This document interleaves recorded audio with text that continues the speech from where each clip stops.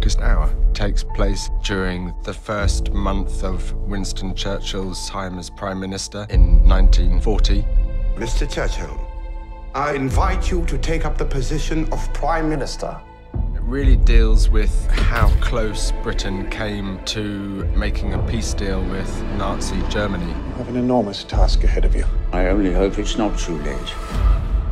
It was lovely to be working with someone who had such a vision for the film. It, it, will inspire them. I just enjoyed it and the atmosphere that he creates on the set. We are looking at the collapse of Western Europe. How many of our men are trapped?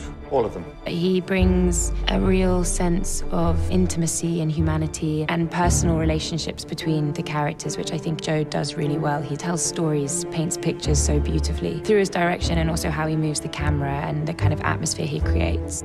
He's very specific about the detail all the way down to props and wardrobe, and he has it in his head where an audience wants to go emotionally, and he takes you there visually. How long have they got if you don't rescue them? We would need a miracle to get our men out. It's about leadership, doubt, and a crisis of confidence and how Winston rose above the difficulties and led the country to victory.